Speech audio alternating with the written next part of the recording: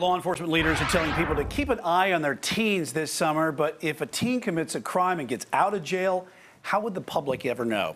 Queen City News reporter Will Lewis is live from Charlotte Mecklenburg Police Headquarters tonight. And Will, this past weekend's gun violence in Gastonia Mall is raising new questions tonight about protecting some, but maybe not others. Yeah, that's right, Brian. And not only in Gastonia, but here in Charlotte as well. CMPD Chief Johnny Jennings released a video last week, and it was released on the same day that a teen in Gastonia shot another teen. Now, we won't know that teen suspect's name in Gastonia unless the grand jury finds there's enough evidence to charge them as an adult. Law enforcement from Union County to Charlotte are dealing with a growing problem teens committing crimes and police asking for help. It takes every parent to know what your kids are doing, where they are, what they're carrying in their book bags. And it is incumbent upon every parent to be able to know what their children are saying and doing on social media.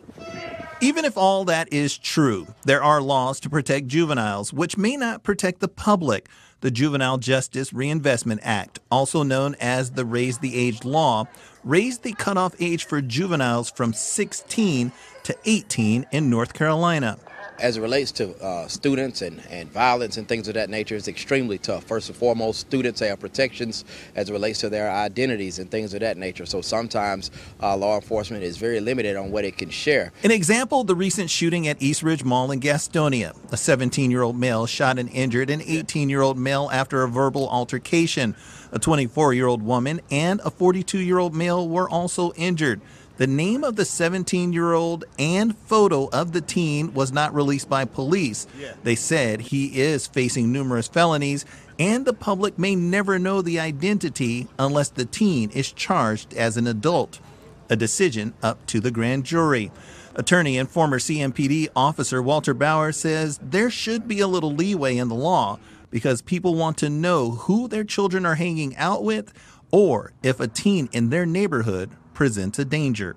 When a, uh, a, juvenile commits a violent crime, I think the public has a right to know. I think uh, that those protections are erased when a person uh, does something that is a crime that is dangerous to life. In my opinion, uh, we should have a right to know who those individuals are, just so we can continue to be uh, more aware Now, just to be clear, there is no call or legislation right now to change the raise, raise the age law, but Jennings and Bowers do agree that parents need to know who their teens are hanging out with in person and online to help reduce these crimes. We're live in Uptown. Will Lewis, Queen City News.